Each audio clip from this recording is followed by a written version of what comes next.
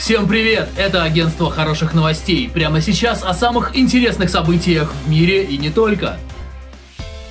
Илон Маск вскопал Лас-Вегас. Эпатажный предприниматель построил подземные тоннели под городом, которые должны помочь в борьбе с пробками. Общая стоимость проекта более 50 миллионов долларов. Перемещаться по тоннелям можно будет на специальных автомобилях. Ну, конечно же, производство компании Tesla.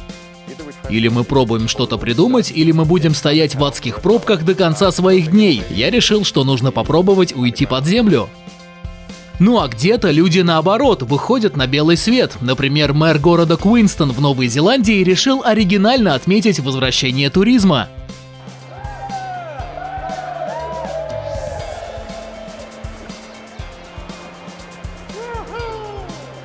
В прошлый раз я прыгал 10 лет назад, и мне это очень понравилось. Туризм вернулся, это здорово.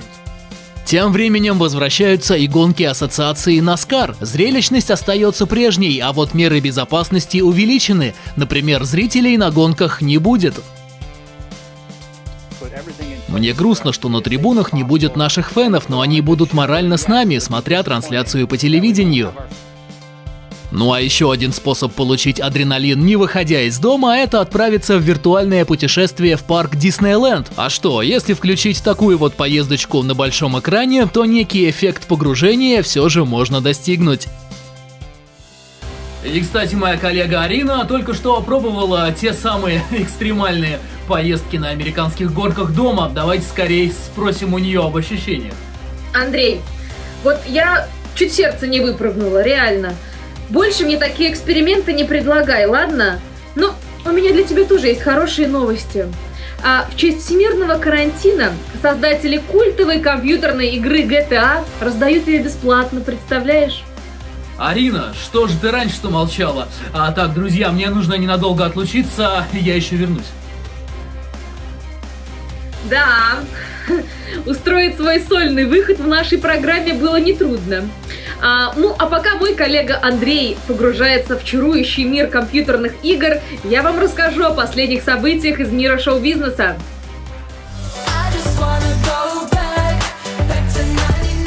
Вот уже подоспели и первые альбомы, которые были записаны дома во время карантина. Именно так поступила певица Чарли XCX. Свой альбом «How I'm Feeling Now», а также свежие клипы певица делает, не выходя из дома. Я записывала новые песни всю ночь до самого утра, работая на пределе своих возможностей. Дэвид Бекхэм, наоборот, не нарушает режим и начинает утро с пробежки по полю. Идеальное начало дня. Певец Джами Ракуай тоже ушел в природу и сделал для нее хорошее дело. Точнее, спас утенка, отправив его в родные края. Но в сети прошел концерт Евровидения. Легендарный песенный конкурс в этом году был отменен, но зрители увидели онлайн-концерт участников из 41 страны. Не обошлось и без представителей России. Это действительно мировое событие.